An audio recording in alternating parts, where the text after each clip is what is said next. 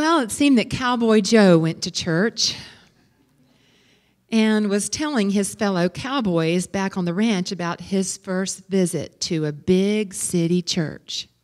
Unity at Gaithersburg, of course. when I got there, they had me park my old truck in the corral, Joe began. You mean the parking lot, interrupted Charlie, a worldlier fellow. Well, I walked up the trail to the door, Joe continued.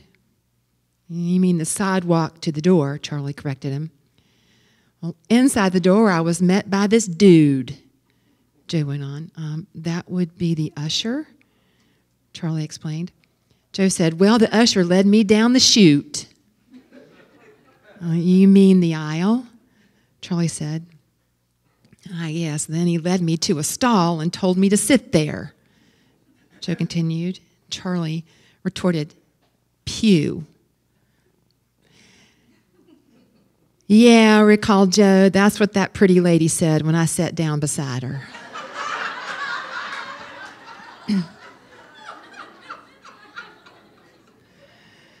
yeah, now you told me you missed my jokes, and so I warned you.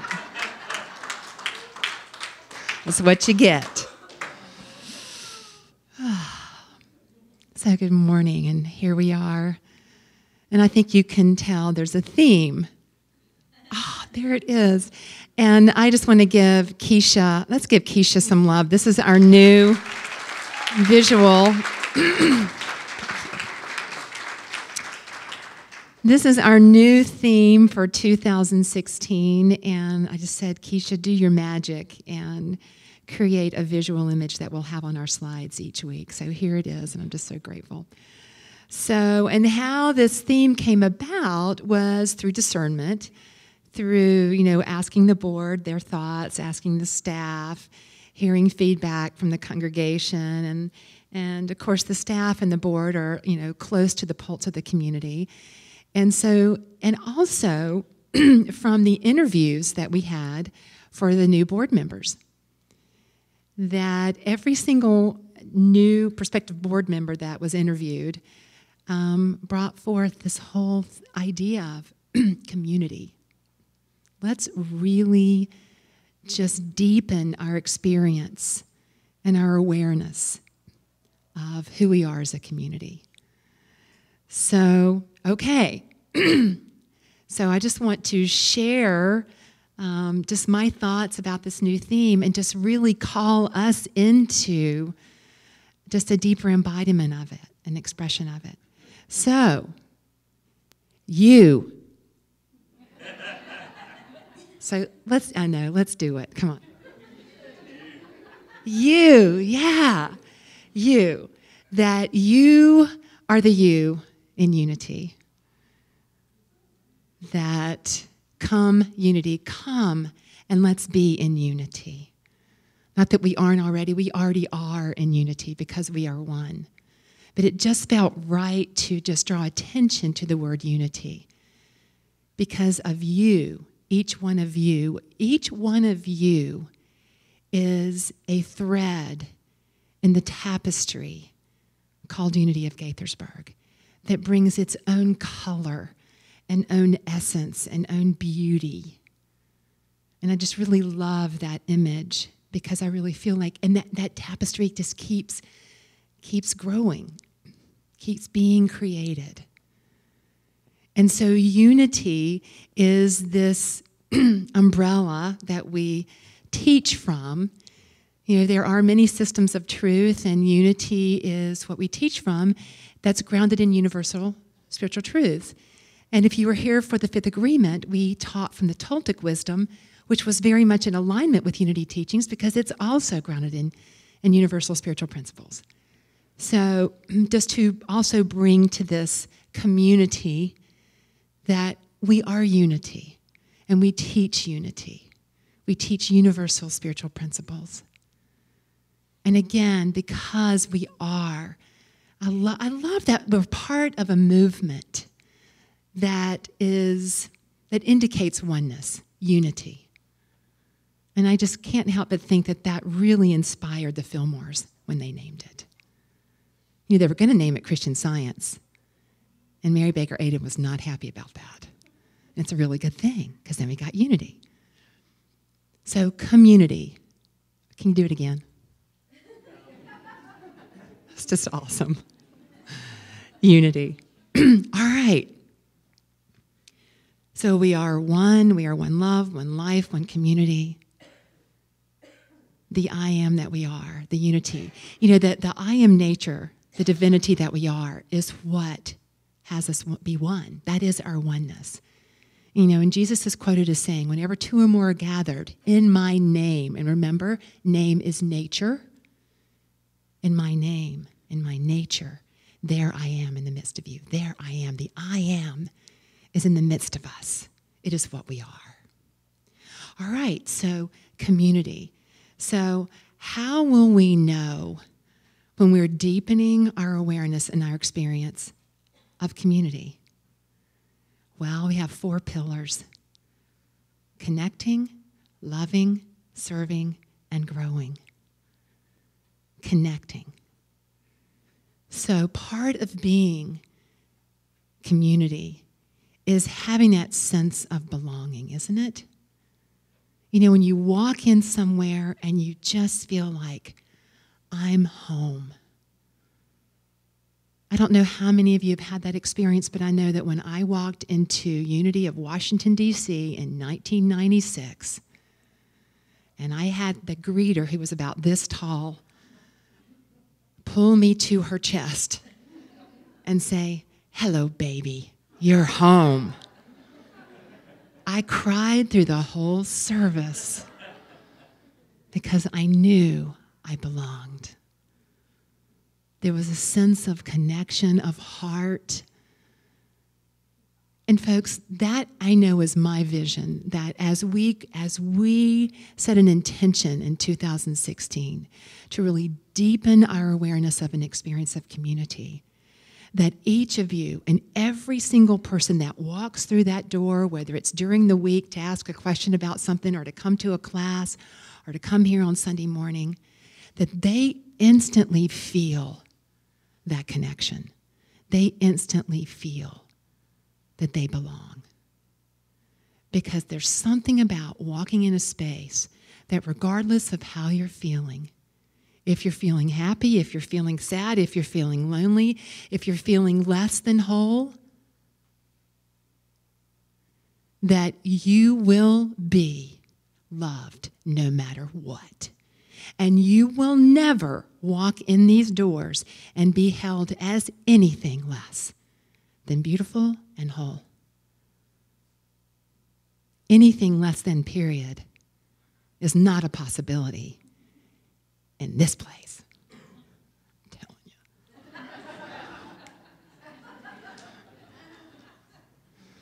yeah.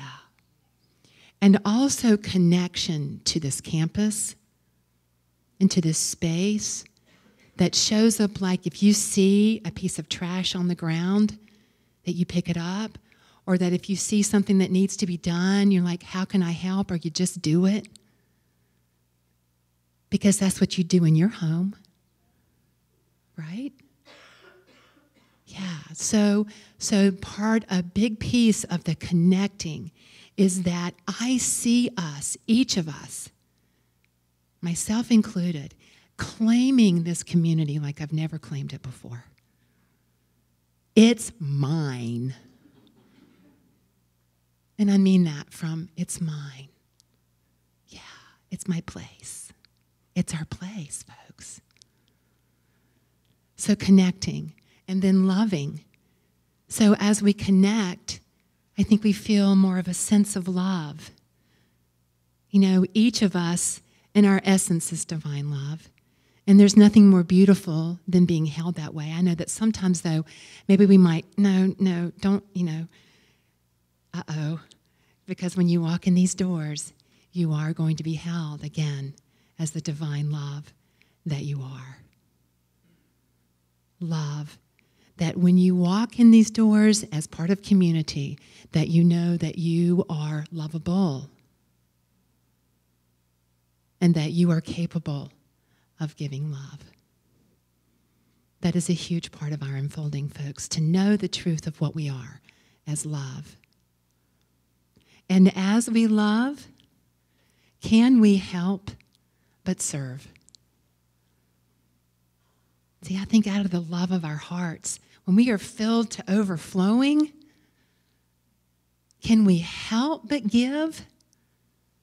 I really truly believe that it's our nature to give. That if we don't give, that there's something out of integrity. There's an out of integrityness, if that's even a word, when we're not giving because it's our nature. And I know that is why Elizabeth Gensler stands up here in all of her exuberance and joy about 4T because she got it. The light bulb came on about how transformational it is, folks, to serve, to move beyond ourselves. And there's a beautiful quote that I found from Cesar Chavez, who was a civil rights and labor activist, that said this We cannot seek achievement for ourselves and forget about progress and prosperity for our community. Our ambitions must be broad enough to include the aspirations and needs of others for their sakes and for our own. Because, see, in this place called community, what impacts one impacts all. That when we give to one, we give to all. And yes, our, your financial gifts are such a blessing, and I thank you for that. And also your gift of service, sharing your talents and your gifts. And if there's not a place that's already been created that you feel that you can do that fully, come talk to me or a board member or a staff member. We'd love to create the space for you to express your passion. And so you see how each of these build on each other as we connect and we feel connecting, we are loving, we are serving, and we are growing. Folks, as we participate fully in community, from that place of and that knowing of connection and love and service, wow, we grow. Lao Tzu, I found some pretty fun quotes.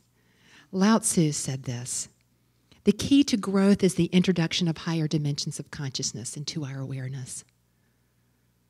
That's the key to growth. And, folks, this is the word that's coming to me a hotbed of transformation. because this is a place where, as you participate actively, you can raise your consciousness into a fuller and deeper awareness of the truth of what you are. And, folks, as you know that, there's no greater truth. Because as you know what you are, the possibilities are endless. And what greater joy does this community have to launch you into the world, into your greatness?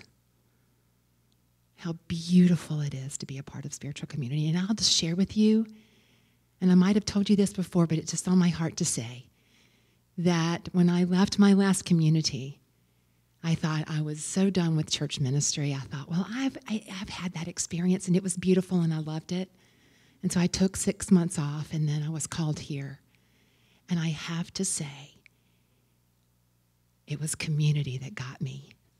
You got me at community.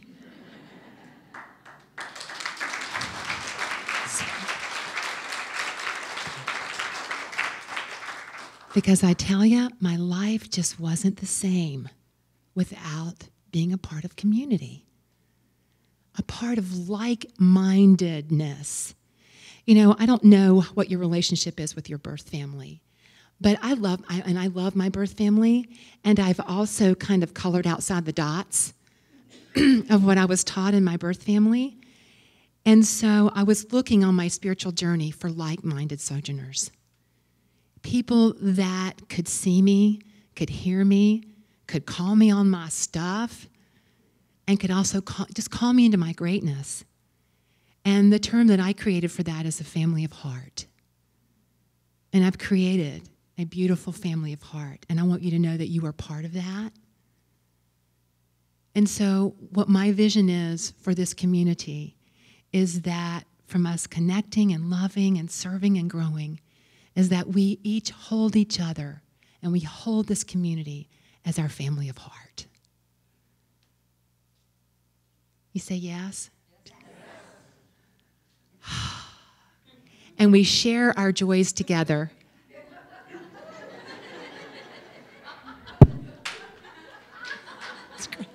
That's fabulous.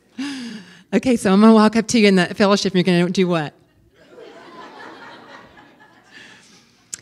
So, this week and this year, I just invite you to really embrace this community as your family of heart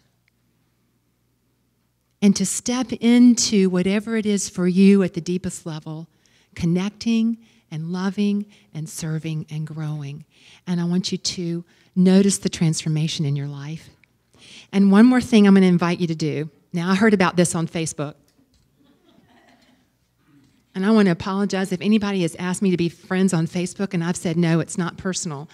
The only reason I'm really on Facebook is to go like pictures of my goddaughter, okay?